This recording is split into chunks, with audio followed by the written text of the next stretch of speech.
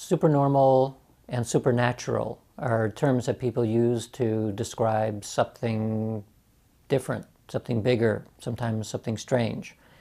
I make a distinction between supernatural and supernormal in that supernatural has a connotation of the divine. It's something that, that's not human, it comes from somewhere else. Whereas supernormal is an Olympian athlete is supernormal.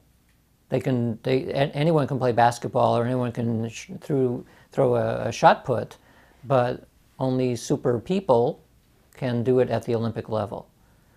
So, I, and so here's the, the, the, distinction then is that it's a segue in talking about other forms of supernormal abilities.